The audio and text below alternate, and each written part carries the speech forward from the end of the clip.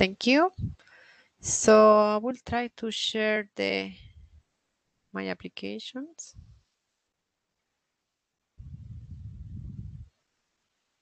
Yep.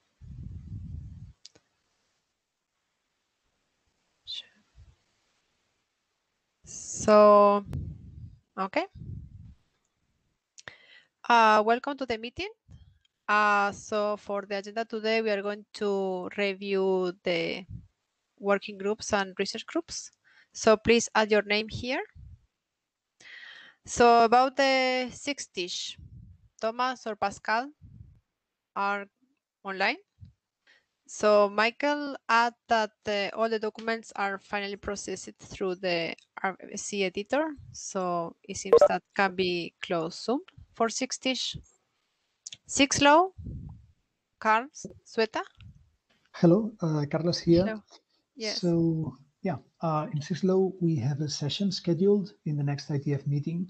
And since the last IETF, we had a new RFC, which is entitled Packet Delivery Deadline Time in 6LoWPAN routing header. And the four current working group documents are in advanced stages. Uh, two of them have already been evaluated by the IESG. Those are IPv6 over NFC and IPv6 mesh over BLE. And then the two other active working group documents are IPv6 over PLC, for which the authors have uh, already addressed the pre-IESG reviews, and the use cases draft, which has almost passed the second working group last call. And perhaps the main news is that for the first time in several years, most of the time in the next 6lo meeting will be dedicated to discussing new work, uh, comprising mainly three items. The first is entitled Transmission of SCHC compress Packets over 15.4 Networks. Uh, by the way, SCHC is the main product of the LPWAN working group, and one of the components it has is a header compression uh, mechanism. Then the second uh, work item is entitled Native Short Address for Internet Expansion. And the last one is fragment forwarding and some discussion about using forward error correction, also for fragment forwarding in 6LoWPAN networks. So any comments or questions? Okay, thank you very much, Carlos. Ace, Daniel Loganaden. Mm, okay. Anima, Toerless. So it's it's it's all on the page. We finished our first uh, round of the charter after I don't know five years. Um, so that's uh, 450 pages, and um, we're now looking into primarily a lot of extensions coming from real world requirements. Um, and I think the new area that we're uh, looking into is to actually um, build on top of the automation um, new service agents uh, to run the automation. Uh, we're having a hackathon. Um, feel free to to listen in, join in on that. The URL is there. Um, also, um, if you're interested in network automation, NMRG is doing the starting work for defining what intent uh, is. so that might be another uh, thing to get involved into for network automation. Okay, great. Thank you very much, Toerless. Hi, Steve, Michael, Niklas. Okay, so there are hackathon efforts this week and the implementation of draft. There are more information in the link. Uh, CBOR, Barry, Christian. Hi, this is Barry Leiba. Um, not a lot to say. We have uh, uh, several work, uh, working group documents that are getting ready to leave the working group. They're listed there as C CDD control file magic and network addresses. And we make regular progress in biweekly conference calls. As I say, this is a happy, friendly working group and no, no strife. Carsten, do you have anything you want to add to that?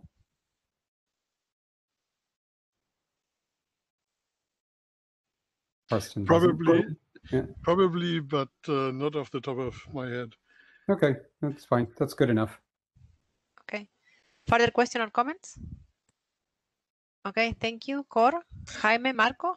Hi, this is Marco. Um, so we've recently published RFC 9039, used to be DevURN, or resource names for device identifiers, and we have 16 active documents, but four of them are now finally very close to publication, and three have been sent to the IESG for evaluation.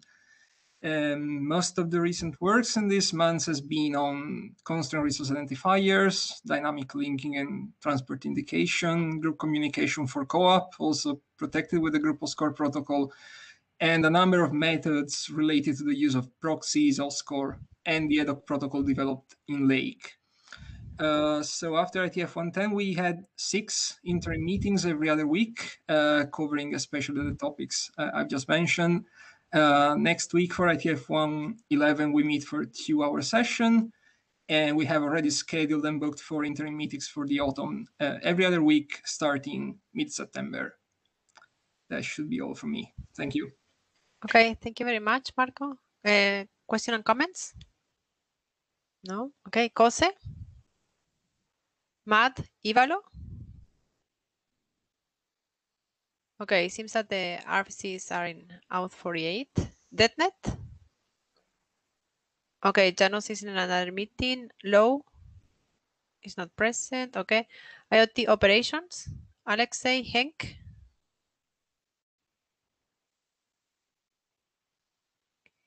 Hi, so, sorry.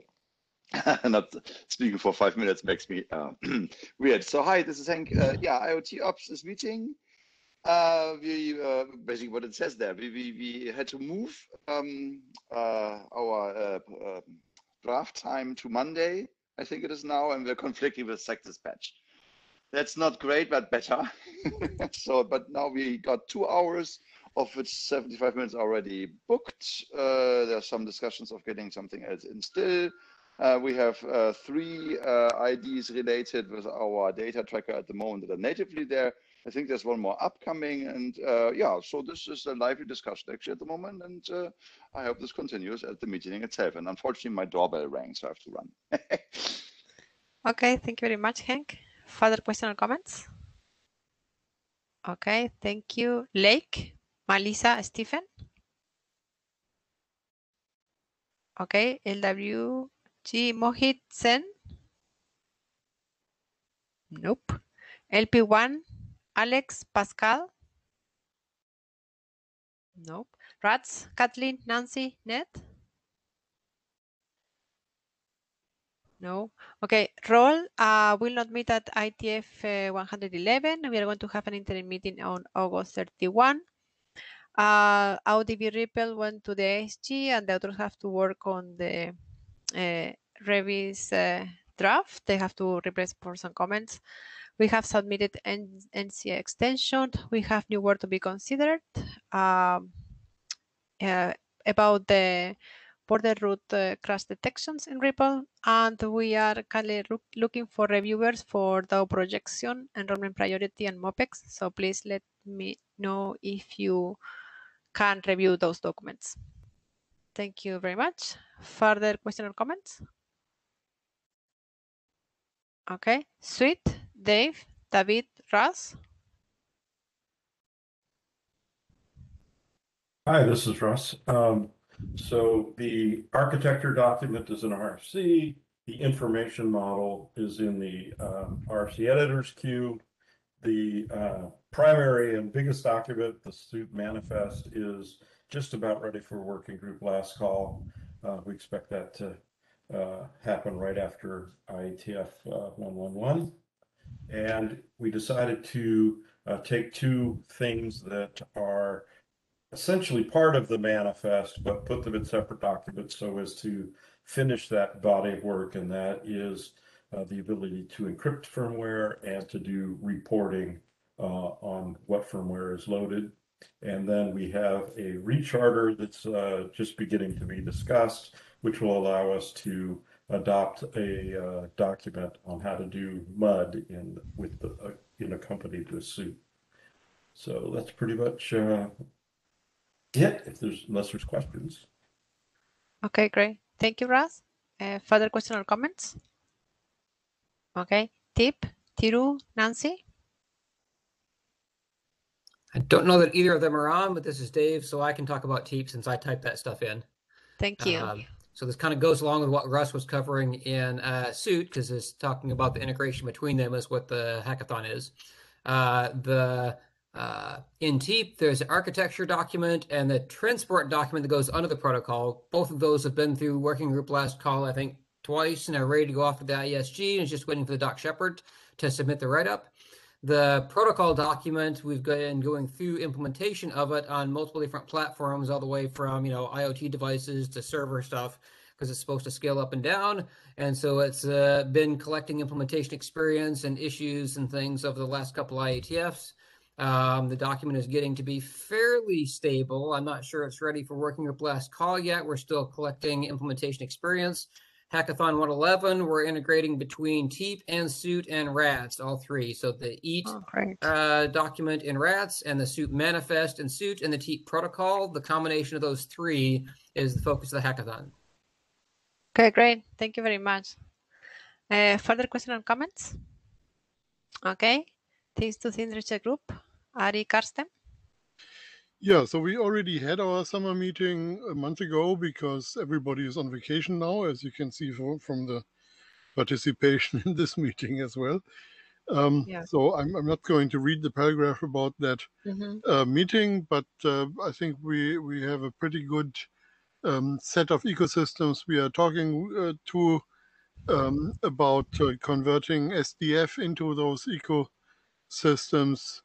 Um, and we have uh, hackathon activity um, this week that will further work on converters and other SDF uh, tools. Um, we have uh, we are going to have an academic workshop on descriptive approaches to IoT security network and application configuration in December. Uh, deadline is in two months, in uh, September 17th.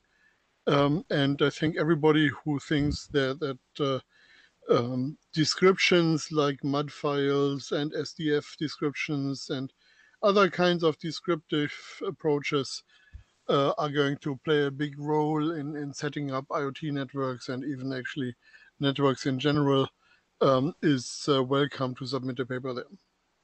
Okay, great. Thank you very much, Carsten. Further query, uh, question or comments? Hey, Carsten, uh, this is Samita. Um, I have a question on the IoT Edge challenge and fun- functions, um, and I see that you have a couple of documents on them. Um, is it possible to write um, those drafts in the code CodeMD so I can take a look later? I'm interested in those. Sure.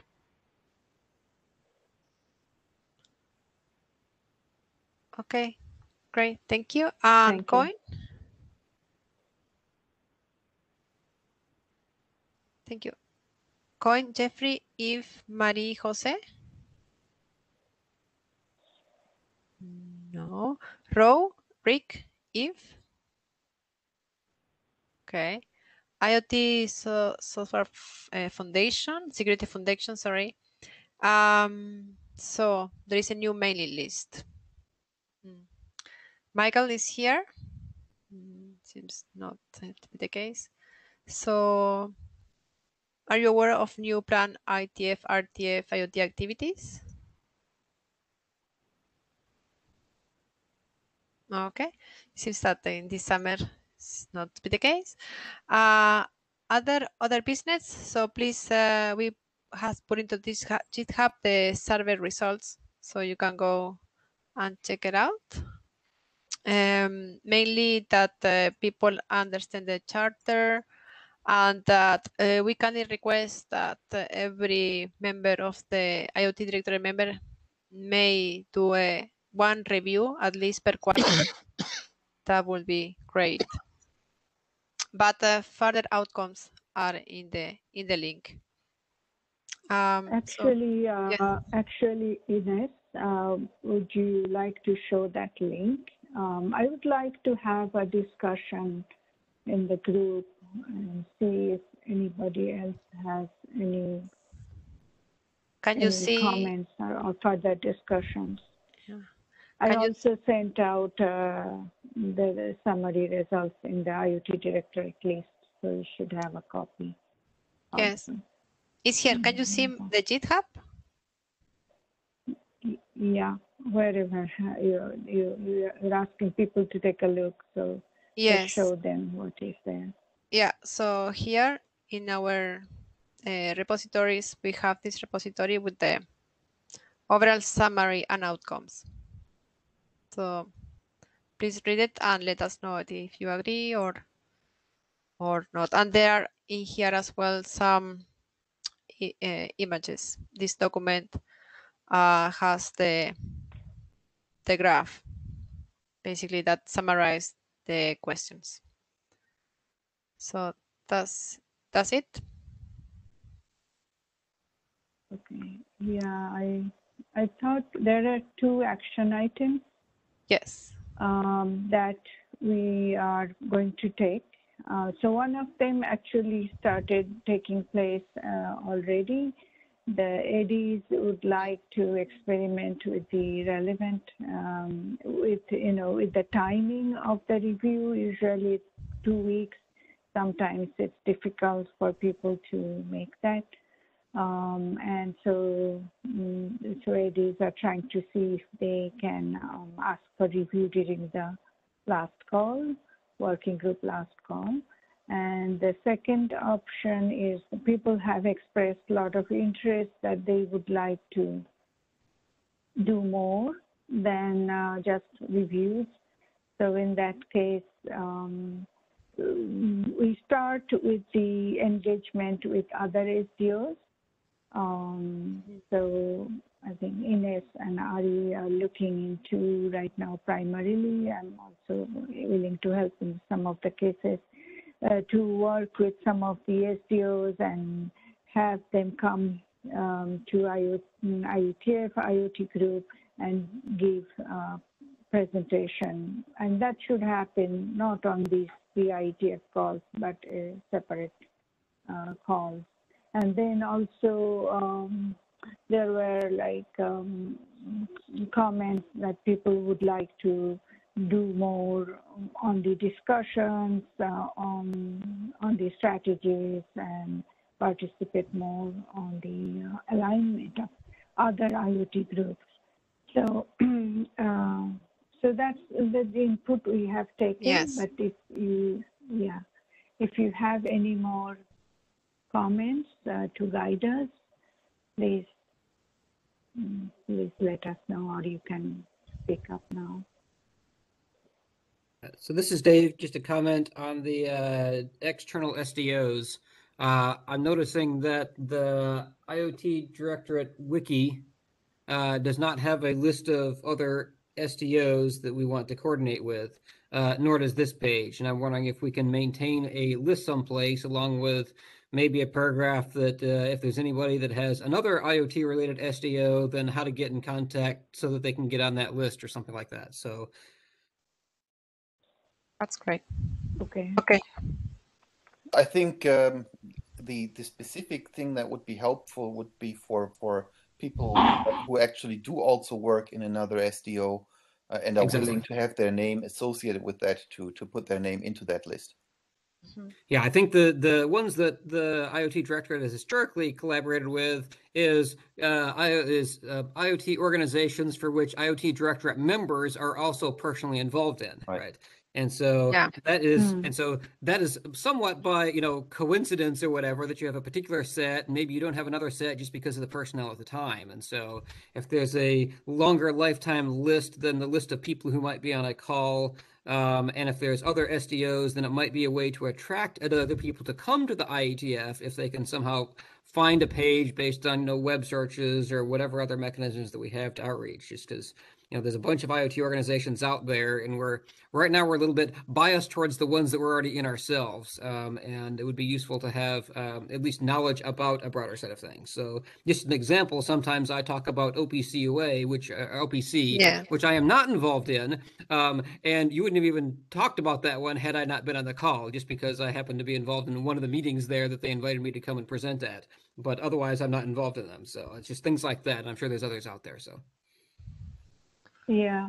Um, one of the things is um, maybe the presenter may not want to be the name in the contact list, list, but we could ask them to give a general contact name um, who is willing to uh, receive emails Yeah. But that's what I said, right? I mean, the people uh, who who want to be listed there should be listed, and otherwise not.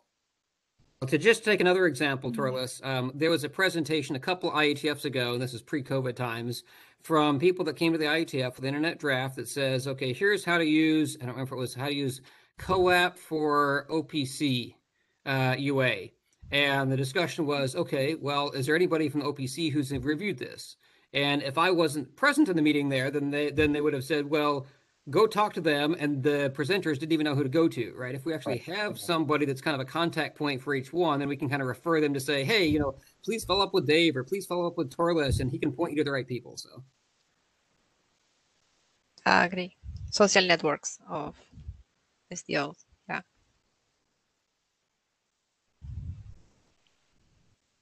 Thank you for the comment. And I probably should add that T2TRG, of course, is interested in knowing about any SDO we don't know about it. So OPC is on our list, but uh, there, there may be others that r- really we don't know about. Yeah. Agree. Do you maintain a list, Carsten, in T2TRG for the uh, uh, for the folks that you usually bring in? No, and we probably should document that better. So right now it's it's kind of in the heads of the chairs, and and uh, of course it's also in the the minutes of the meetings we have had uh, with with people from the various uh, groups. Um, but uh, we we probably need to provide a better directory of that. I think there Okay, is a yeah, web. I think.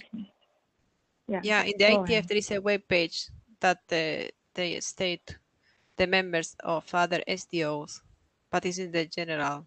Yeah there's the liaisons page which is kind of an official appointment the iab does to other organizations. Um, but we're here we're not necessarily talking about official liaison. It's just somebody that might have knowledge of who the right contacts and stuff are um, for informal Right. purposes because there's a bunch of organizations that the IAB has said there's no point today, you know, we, there's no need to establish a liaison relationship because we couldn't do anything that we couldn't do without a liaison, right? And so here it's just informal contact points that is for a, a broader net than actual official li- official liaisons.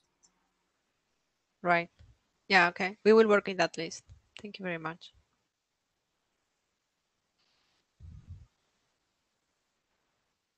Okay. Further comment or questions?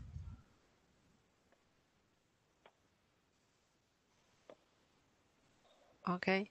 Uh, so I can uh, we can finalize the meeting. And thank you very much uh, to all for participating. Uh, enjoy the vacations time. And I will stop the recording now. Thank you. Thank Have a you. Thank you. Thank you. Bye bye. Thank you. Bye bye. Bye bye. estado, estado